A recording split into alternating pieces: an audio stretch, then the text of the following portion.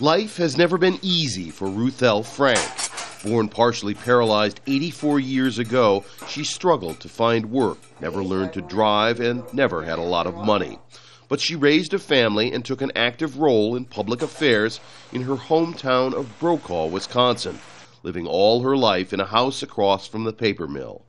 And she always cast her vote ever since her first election in 1948. Were you a Harry Truman fan? Yeah, I was a Harry Truman fan. For decades, Ruthelle was a proud participant in American democracy. That is, until now. Last year, she took her baptismal certificate for identification and went to a state office to re register to vote, and was told, under Wisconsin's new law, she wasn't eligible.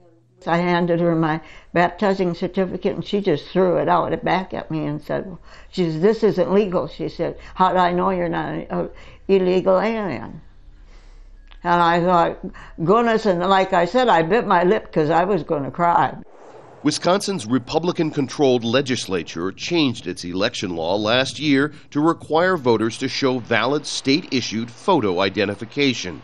Wisconsin is just one of more than a dozen states that have enacted new voting restriction rules.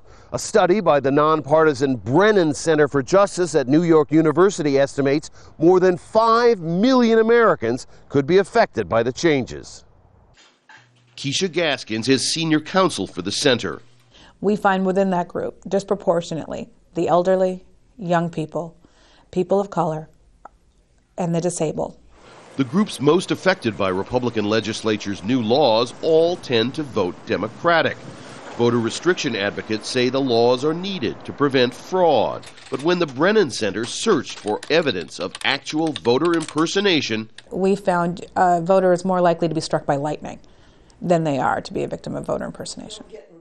Ruthelle never had a driver's license and didn't have an official birth certificate because she was born at home. A bureaucrat told her a corrected duplicate birth certificate would cost money. It could cost up to as much as they told us $200.